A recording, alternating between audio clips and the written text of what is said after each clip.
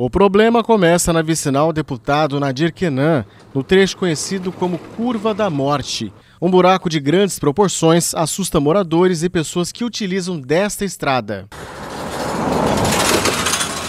No distrito de Alberto Moreira, a situação não é diferente. Em várias esquinas há buracos e água empoçada, causando mau cheiro.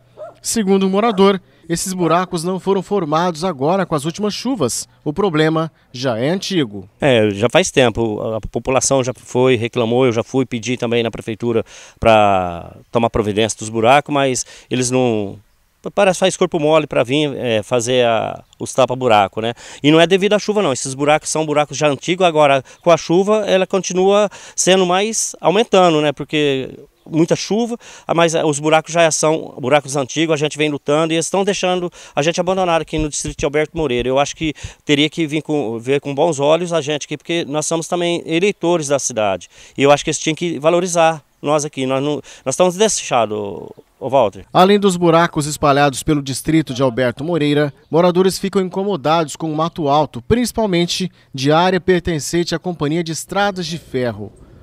O local não recebe limpeza há muito tempo. É, a gente está com medo porque a companhia ferroviária não está tomando providência de limpar o, o, espaço que são deles, né? E eles não querem mais ceder, ninguém mexe lá, faz plantação de nada. Então está um mato grande, tem, você viu inclusive que é, tem pessoas de idade ali, pessoas de 80, 90 anos, que moram ali, tem medo do escorpião, medo de, desses bichos peçoentos, né? Promessa pra gente na época eleitoral. Passou a época eleitoral, tem só dois vereadores que vêm aqui nos eventos que tem aqui Alberto Moreira, o restante, só na época política, vem, faz as suas promessas, fala que tá, está dando manutenção, mas tudo é conversa, é só na época política mesmo. Nós esperamos que o poder público vê nós com o melhor olho, olho né? não fica assim deixando a gente a, a Deus dará aqui, que aqui são todas pessoas humildes, mas são tudo pessoas do bem.